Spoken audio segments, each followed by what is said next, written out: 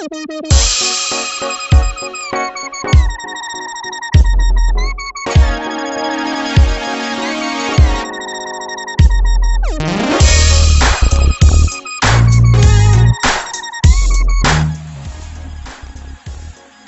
Sari-sari ang naging reaction ng mga netizens nang ilabas ng dating Miss Earth Philippines na si Sandra Seifert ang kanilang anak ni Cesar Montano. Matatanda ang 2015 nang mabalitang manganganak ang dating beauty queen at si Cesar Montano ang nababalitang ama din ng magiging anak nito. At matapos nga ang limang taon, buong tapang na inilabas ng 2009 Miss Earth Philippines na si Sandra Seifert ang gwapong anak nila ni Cesar na ngayon ay 5 years old na. Sa post na uploaded sa Instagram ni Sandra Seifert, makikita doon na yakap ni Cesar ang kanyang 5-year-old son na si Coco at hinahalikan. Nakalagay pa sa caption ni Sandra na Love Actually. June 2020 nang ma-interview ng PEP si Sandra at ikinuwento nga nito na naman ni Coco ang pagiging artistic, bibo at malambing nito sa kanyang ama na si Cesar. That time, hindi pa pinangalanan ni Sandra kung sino ang ama ng kanyang anak. Narito naman ang ilan sa mga photos ni Cesar at ng kanyang anak.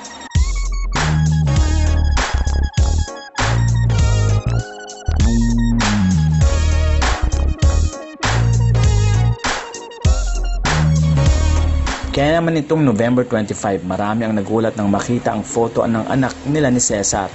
Maraming netizens ang tinawag si Sandra ng kung ano-ano at tila kalmado naman si Sandra na sinagot ang bawat bashing na kanyang natanggap mula sa mga bashers. Narito ang ilan sa mga post at usapan ni Sandra at ilang mga netizens.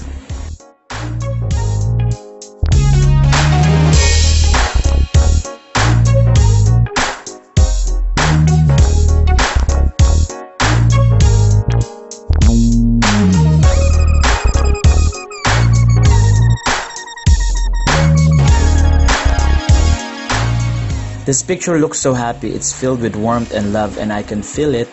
I'm sure God is smiling saying this. Coco is blessed with great parents. Keep on being a wonderful mom. Ate Sandra, I hope to be half as great of a mom as you one day.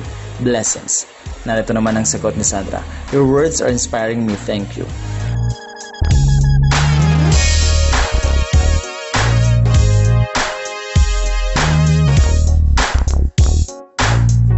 Samantala ilang netizens naman ang nagsabi kay Sandra na i-off na lamang nito ang comment section ng kanyang Instagram para hindi na siya mabash. I don't know if mababasa mo to but it's best to turn off the comment section for this post. Suggestion lang naman. Somehow the kid will see this post and the comments at hindi maganda yon para sa mental health niya.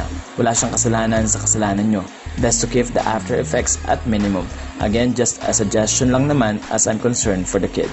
Sanagot naman ito ni Sandra. Appreciate your concern so much. Don't worry, all will fall into place as it should. Let's just keep praying for one another and encourage those who need more help in understanding. Samantala ilang mga netizens din naman na nagsabi na parang kahawig daw ni Jeggy Saga si baby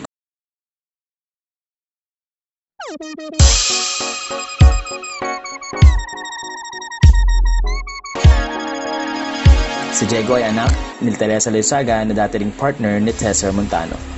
Marami naman ang netizen na sumuporta kay Sandra at sinabing hayaan na lang ang mga bashers